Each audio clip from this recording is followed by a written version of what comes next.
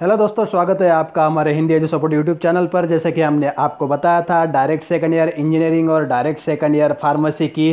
शुरुआत शेड्यूल की आएगी 6 जुलाई 2019 के बाद या फिर 7 जुलाई 2019 को। इसी प्रकार आप यहाँ पर देख सकते हैं डायरेक्ट सेकंड ईयर इंजीनियरिंग यानी कि डीएससी और direct second year pharmacy DSP के लिए नोटिफिकेशन तो अभी शेड्यूल तो नहीं आया है, लेकिन आप देख सकते हैं यहाँ पर पोर्टल एक्टिवेट हो गया है। आप direct second year engineering DSC पर अगर क्लिक करेंगे तो आपको यहाँ पर न्यू का पोर्टल दिखाई देगा। यहाँ पर कुछ list of facilitation centres ETC और एफसीआर से लॉगिन इंस्टीट्यूट लॉगिन जो भी लॉगिन है, जो भी diploma to degree course mapping है district wise diploma institutions institute wise courses ETC जानकारी आपको पोर्टल पर देखने को मिलेगी। यहाँ पर सभी पोर्टल्स एक्टिवेट हो चुके हैं। आपको सिर्फ़ अब शेड्यूल का इंतज़ार करना पड़ेगा। जैसे कि हमने हमारे ऑफिशियल वेबसाइट इंडिया में पढ़े डॉट कॉम पर भी बताया था कि यह अनुमानित समय सीमा 6 जुलाई 2019 से डीएससी और डीएसपी के एडमिशन स्टार्ट हो सकते हैं। उसी अनुसार आज डायरेक्ट सेकेंड ईयर इंजीनियरिंग और डायरेक्ट सेकेंड ईयर फार्मेसी के लिए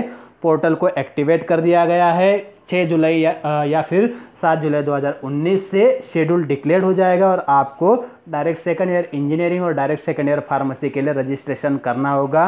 कैप रजिस्ट्रेशन करना होगा? इसके बाद अब दूसरा देखिए आप यहाँ पर डीएसपी का अगर आप डायरेक्ट सेकंड ईयर फार्मेसी का पोर्टल भी देखेंगे तो सेम उसी प्रकार से डायरेक्ट सेकंड ईयर इंजीनियरिंग की तरह ही यहाँ पर सभी लिंक्स एक्टिवेट हो चुकी है। आप यहाँ पर एफ़ लिस्ट भी देख सकते हैं डिस्ट्रिक्ट वाइज डिप्लोमा इंस्टीट्यूशंस की लिस्ट देख सकते हैं।